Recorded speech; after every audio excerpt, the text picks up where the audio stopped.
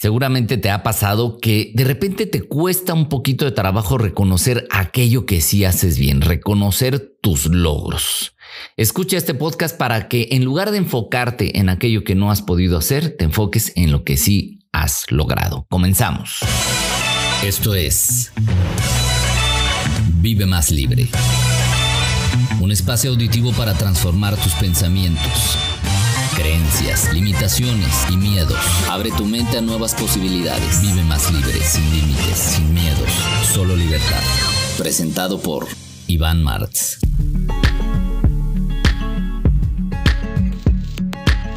¿Qué tal? ¿Cómo estás? Bienvenido, bienvenida de nuevo a este que ya es el episodio número 12 de nuestra tercera temporada, el último de este año 2021, en el cual vamos a hablar de reconocer tus logros. Porque, como te decía en la intro, realmente muchas veces nos cuesta trabajo decir, sí lo hice, sí hice bien, sí pude hacer esto.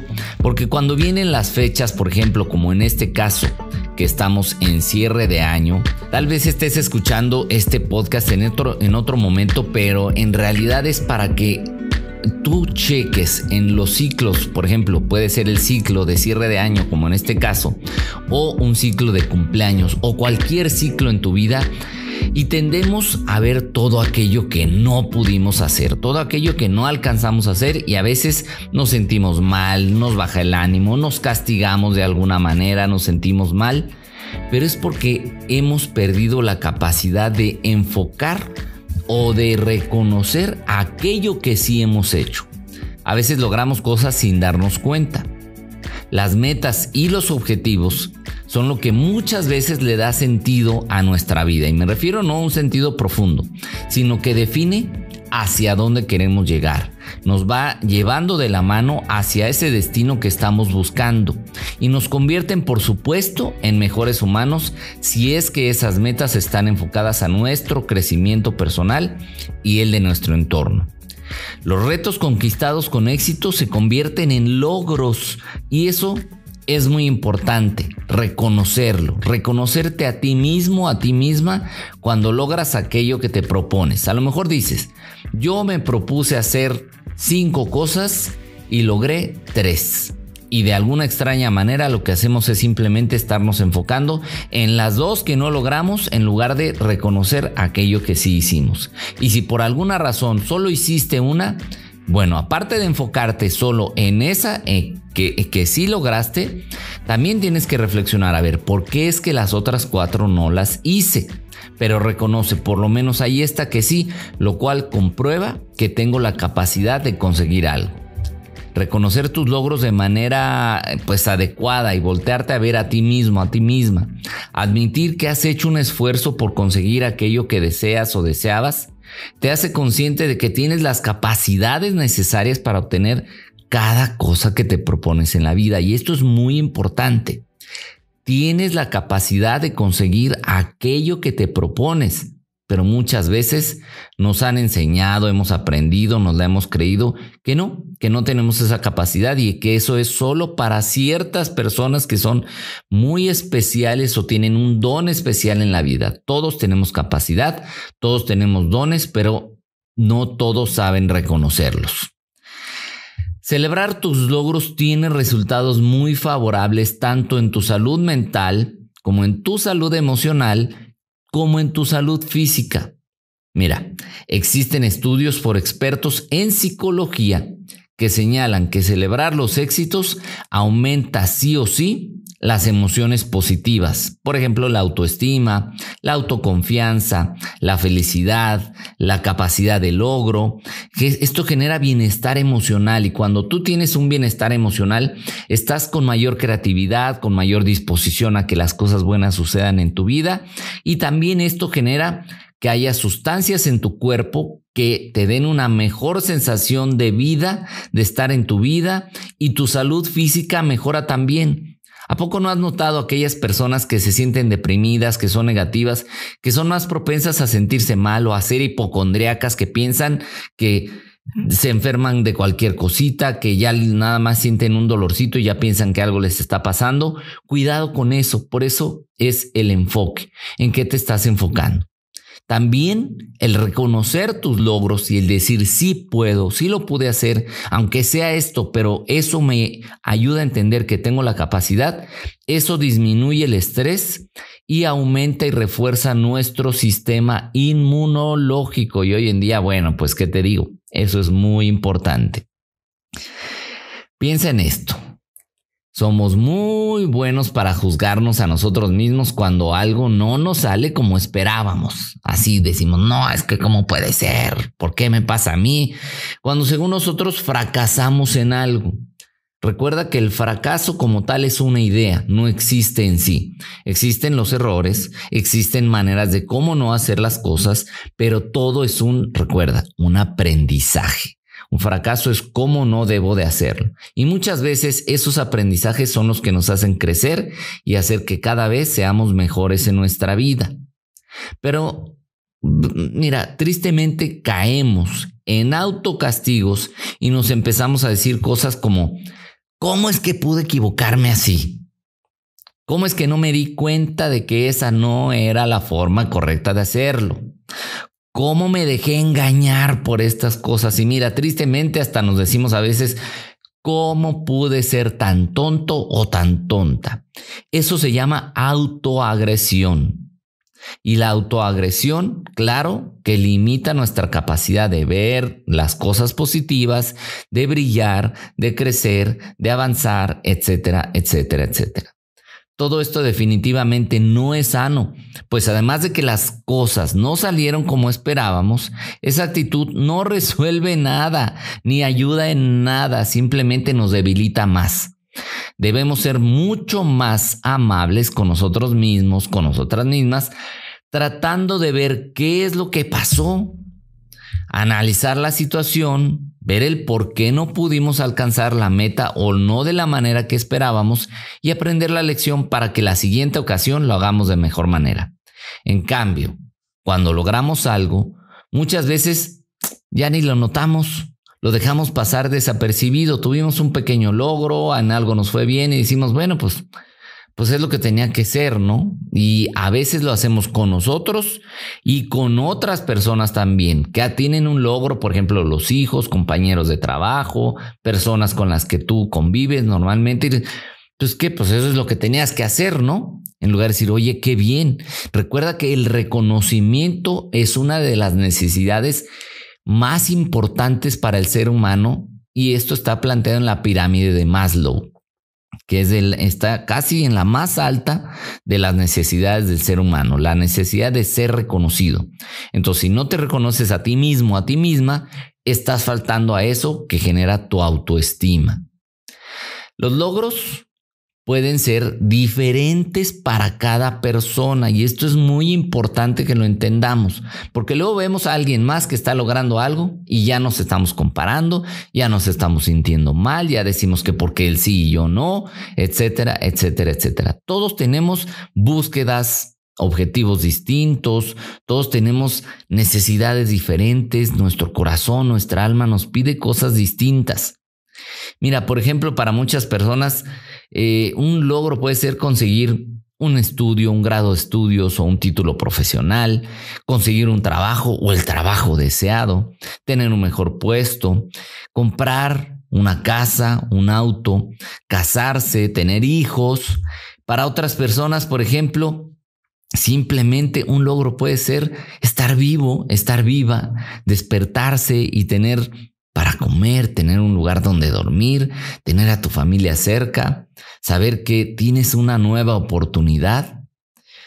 Y hay personas incluso que pasan por enfermedades o que tienen algún tipo de discapacidad y que lograron simplemente sobrevivir a eso, avanzar ante su enfermedad, eh, lograr cosas aún y a pesar de su discapacidad, que incluso muchas veces tienen más logros que las personas que no tienen algún tipo de discapacidad, pero es porque tienen y aceptan el reto de decir, Claro que puedo, claro que tengo que hacerlo y lo voy a hacer porque tengo la capacidad independientemente de cuál sea mi estado físico, porque tenemos la mentalidad, el poder mental, tenemos el poder emocional, simplemente lo que tenemos que hacer es reconocerlo, dirigirlo y plasmar las cosas. Todos y todas pasamos por situaciones diferentes y nadie más que tú sabes el esfuerzo que te significa el lograr cada resultado y cada cosa en tu vida, por pequeña que sea. A lo mejor alguien puede decir, ay, eso que lograste es muy sencillo, pero para esa persona o para ti, resulta que implicó un cambio de mentalidad, implicó una perspectiva diferente, implicó que te atrevieras a romper ciertos límites y es un logro, por lo tanto no debes permitir que el juicio de alguien también limite tu capacidad de reconocer lo que sí puedes hacer, lo que sí puedes lograr, pero definitivamente no estarte midiendo en comparación a los éxitos de los demás. Define qué es éxito para ti, porque hay una idea general de lo que el éxito supuestamente debe de ser. Pero ¿qué es éxito para ti? Sentirte bien, sentirte en paz, obtener algo, pero recuerda que el éxito a nivel del alma, a nivel del corazón, no es material. Y con esto, ojo, no quiero decir que lo material no sea importante o que lo material lo dejes de lado. Por supuesto, claro que tenemos que hacer que nos vaya bien materialmente, pero eso no es el resultado final. El resultado final es lograr sentirte alegre, sentirte en paz, sentirte contento, contenta, sentirte satisfecho, satisfecha y todo lo demás son cosas que se vienen sumando. Parte de reconocer tus logros es celebrarlos definitivamente, centrarnos en esas pequeñas cosas que nos llevan al final del camino y celebrar cada victoria, por pequeña que ésta parezca. Y esto nos hace que nos mantengamos en un estado de motivación, de que vamos en el camino correcto. A ver, si yo quiero lograr poner un negocio y de pronto digo, ay, ya logré ahorrar, aunque sea un poco, unos dólares, unos pesos, pero esto está destinado a emprender mi negocio, eso hay que celebrarlo. Y no quiere decir que todo el tiempo vayas y ahora te gastes el dinero celebrándolo, sino reconocerlo, oye, qué bueno y celebro que lo estoy pudiendo hacer. Después, oye, ya tengo la idea, ya tengo mi logotipo, ya tengo la imagen para mi negocio. Bueno, celébralo, siéntete contento, siéntete contenta, pero muchas veces incluso puedes tener ya tu negocio y lo estás sufriendo porque no, no sabes lo que me ha costado, no, no sabes qué difícil ha sido. Es que si tú supieras todo lo que implica y en lugar de celebrarlo, lo estás sufriendo. A ver, todo logro, por pequeño que sea, es mejor celebrarlo que sufrirlo. Porque luego le andamos cantando al mundo, ay, lo que me ha costado y tú no sabes esto. A ver, por favor, más bien dicho, sí, gracias a Dios he tenido la oportunidad de hacerlo. Gracias a Dios he tenido la capacidad de plasmar esta idea. Entonces celebrarlo es una manera de hacerlo y todos los días celebra de entrada que estás vivo, que estás viva. Celebra de entrada que tienes oportunidades, que tienes a las personas que quieres cerca o si no están cerca, celebra que te tienes a ti y que tienes la capacidad de crear nuevos círculos, de crear nuevos lazos, de crear distintas situaciones que por supuesto vienen a favorecer tu vida. Existen distintas maneras de reconocer y celebrar tus logros. A veces de manera sencilla, por ejemplo, puedes consentirte con un espacio para ti, con darte un espacio en algún lugar que te guste, con sentarte a ver una película sin interrupciones, tú solo, tú sola o con alguien que quieres y decir, oye, esto eh, vamos a hacerlo por este logro. O salirte a tu restaurante favorito, o salir un fin de semana eh, a, visitar a alguien que, que hace mucho que no ves y dices, oye, vengo contigo simplemente porque quiero celebrar que está pasando esto en mi vida. Realizar una reunión, invitar a la gente a tu casa y decir, oigan, simplemente, ¿y por qué? ¿Cuál es el motivo?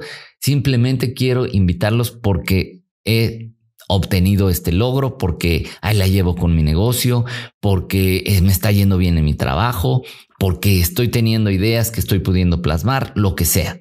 Pero siempre reconocerlo y ante todo reconocerlo contigo mismo, contigo misma. Incluso una manera de reconocerlo es escribir e ir haciendo un recuento de tus logros. A ver, he logrado esto, he logrado esto y sobre todo cuando hacemos ejercicios de cierre de ciclo, de cierre de año, cuándo va a ser tu cumpleaños, etcétera, es importante decir, a ver, estos han sido mis logros y me reconozco y me felicito por esto. Y ya sé que la mente juega y te dice, sí, pero también la has regado y tuviste, y es decirle a la mente, hey, momento, ahorita es para reconocer. A ver, piensa en este momento, ¿qué logros no has reconocido en tu vida? Y piensa en cosas pequeñas. A ver, logré que me hicieran caso en una idea que yo tuve en el trabajo.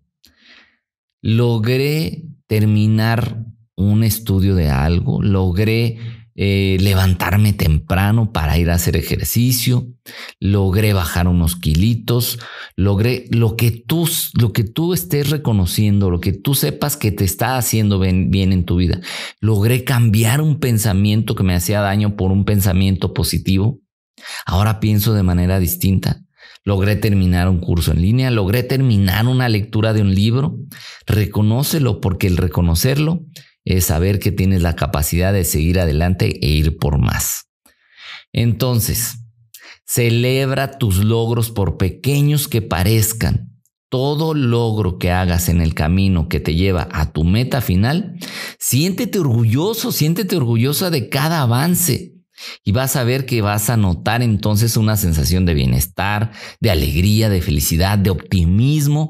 Y eso te va a impulsar sí o sí con mayor fuerza a seguir adelante.